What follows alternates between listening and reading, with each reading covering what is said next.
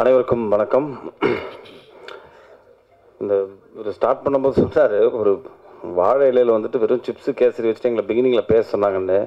இப்போ நான் வந்து நிற்கிற இடம் எங்கே இருக்குன்னா வாழை இலையில் எல்லாரும் தின்னு முடித்து மூடி அதை கிழிச்சு விட்டு அதை பொறுக்கிற தருணத்தில் தான் நான் இருக்கேன். ஏன்னா எல்லா எல்லாத்தையும் பேசி முடிச்சிட்டாங்க. ஸோ அதனால் ஃபஸ்ட்டு ரொம்ப நெகிழ்ச்சியான ஒரு ஈவினிங்காக இருந்தது. என்னென்னா தன்னோட குடும்பத்திலேருந்து ஒருத்தர் வந்து வெளியே வந்து ஒரு படம் பண்ணுறோம் அப்படிங்கிற ஒரு விஷயத்த பத்திரிகை நண்பர்கள் சேர்ந்து கொண்டாடிய ஒரு தருணம் ரொம்ப அழகான தருணம். ஏன்னா எல்லாரும் சேர்ந்து வளரணும் அடுத்தவங்களோட வெற்றியை பார்த்து நம்ம சந்தோஷப்படுற ஆட்கள் ரொம்ப கம்மி. ஸோ இந்த மேடையில் அது நடந்தது ரொம்ப நெகிழ்ச்சியாக இருந்தது. ஸோ வாழ்த்துக்கள். அண்ட் ஊடக நண்பர்கள் அனைவருக்கும் மாலை வணக்கம். மேடையில் அமர்ந்திருக்கும் அனைவருக்கும் வணக்கம். ஸோ um, அவங்க ஐ திங்க் அபிராமி மேடம் எல்லாத்தையுமே பேசிட்டாங்கன்னு நினைக்கிறேன். படத்துக்கு என்ன தேவை இந்த மேடைக்கு என்ன தேவையோ அது ரொம்ப அழகாக பேசிட்டாங்க. ஸோ நான் ரெண்டு மூணு விஷயங்கள் மட்டும் பேசிட்டு அப்படியே முடிச்சுக்கிறேன். என்னை பொறுத்த வரைக்கும் இவங்க என்னை இன்ட்ரடியூஸ் பண்ணும்போது சொன்னது என்னென்னா கதைக்கு கதையின் நாயகனா என்னென்னு. பட் என்னோட கெரியரில் நான் இவ்வளோ படங்களில் நிறைய படங்களில் நான் வந்துட்டு ஒரு ஒரு கதையின் நாயகனாக தான் இருந்திருக்கேன். Because end of the day ஒரு படத்தோட கண்டென்ட் தான் ரொம்ப முக்கியமாக இருக்குது எஸ்பெஷலி இப்போ இருக்கிற லாஸ்ட் ஃபைவ் இயர்ஸ் சினிமா ரொம்ப மாறினதுக்கப்புறம் அந்த படத்தோட கண்டென்ட் தான் ஆடியன்ஸ் ரொம்ப கிளியராக பார்க்குறாங்க ஸோ படம் ரிலீஸுக்கு முன்னாடி படத்தோட பட்ஜெட் தான் அதை பெரிய படமாக சின்ன படமாக டிசைட் பண்ணுது. ரிலீஸுக்கு அப்புறம் அந்த கண்டென்ட் தான் வந்துட்டு ஆக்சுவலாக வந்துட்டு அதை பெரிய படமாக மாற்றுது ஒரு சின்ன படம் கூட வந்துட்டு பெரிய லெவலில் நல்ல கண்டென்ட்டோடு இருந்துச்சுன்னா அது ப பலது சம்பாதிக்கிற போது அது வந்து பெரிய படமாக மாறுது. ஸோ அதுக்கு இப்போ ரீசெண்ட் எக்ஸாம்பிள் நிறையா படங்கள் சின்ன படங்கள் நிறையா வந்து பெருசாக போயிருக்கு. ஸோ ஸோ அப்படிப்பட்ட ஒரு விஷயமா தான் நான் இந்த once upon a time in மெட்ராஸை பார்க்குறேன் என்கிட்ட ஒரு பிரசாத் வந்து கதை சொல்லும்போது நான் ஆக்சுவலாக மற்ற எந்த எபிசோடுமே கதை கேட்கல.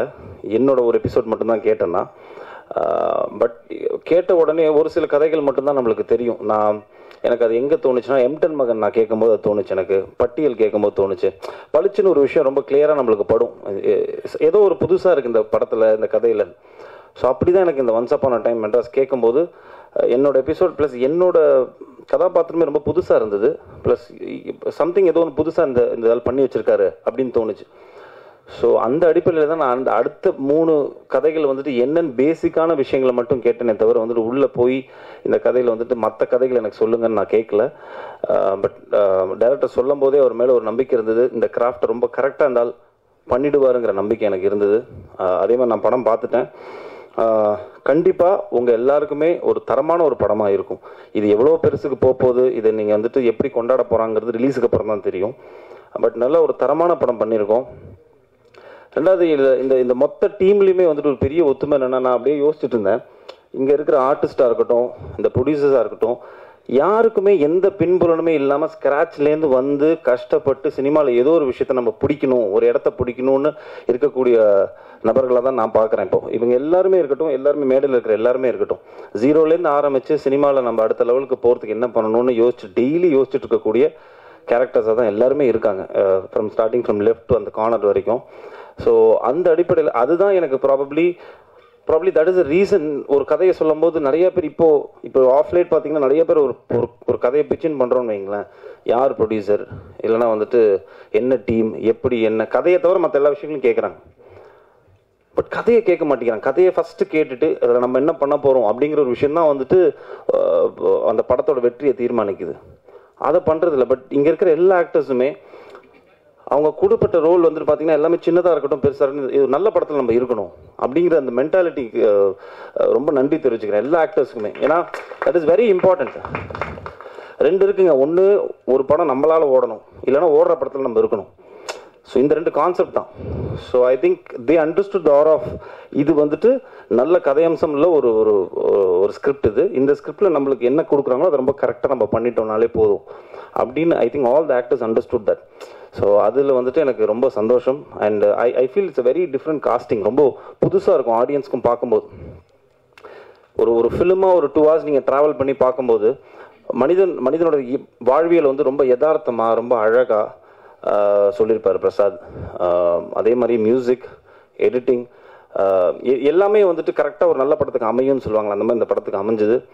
And thanks to all my producers ஏன்னா அவங்களுமே வந்துட்டு ஒரு ஒரு படம் நம்ம வந்துட்டு சும்மா ஜஸ்ட் லைக் தட் ஒரு ஐயாயிரம் பத்தாயிரம் எவனா கடன் கேட்டாலே வந்து நூறு தடவை யோசிப்போம். பட் ஒரு படம் ப்ரொடியூஸ் பண்ணணும்னா அதுவும் வந்துட்டு அவங்க நாலு பேர் சேர்ந்து ஒரு படத்தை எடுத்து இவ்வளோ ஒரு நல்ல ஒரு ஆர்டிஸ்ட்டு எல்லாரையும் சேர்த்து படம் பண்ணணும்னா அதில் ஒரு ரிஸ்க் இருக்குது அதில். பட் அது எல்லாத்தையும் மீறி சினிமா சினிமா நம்மளுக்கு கொடுத்துருக்கு அது திருப்பி நம்ம சினிமா கொடுக்கணும் அப்படிங்கிற ஒரு விஷயத்தை மட்டுமே மைண்டில் வச்சுக்கிட்டு இந்த நாலு ப்ரொடியூசர்ஸ் உள்ளே வந்திருக்காங்க. And they produced it and டெஃபினட்டாக நீங்கள் எல்லாருமே படம் பார்த்துட்டு உங்கள் எல்லாரையும் டிசப்பாயிண்ட் பண்ணாத ஒரு அழகான ஒரு ஃபிலிமாக இது இருக்கும். பத்திரிகை நண்பர்கள் அவனை பர்சனல் நோட் எனக்கு நான் ஆக்சுவலாக ஒவ்வொருத்தரோட பெர்ஃபார்மன்ஸஸ்லாம் சொல்லணும்னு நினச்சேன். ஐ திங்க் அபிராமி மேடம் எல்லாத்தையுமே ரொம்ப அழகாக வந்துட்டு போஸ்ட்மார்ட்டம் பண்ணிட்டாங்க அழகாக ஸோ ஸோ எனக்கு எல்லா ஆக்டர்ஸுமே ரொம்ப யதார்த்தமாக நடிச்சிருந்தாங்க. நான் படம் பார்க்கும்போது because I am a guy who believes in more of realistic acting இங்கேருந்து தோன்றது அப்படியே நடிக்கணும் அப்படிங்கிறது ஒரு uh, நினைக்கக்கூடிய ஒரு ஆக்டர் தான் ஸோ அந்த மாதிரி தான் எல்லா ஆக்டர்ஸுமே நடித்த மாதிரியே ஒரு ஃபீல் வரல.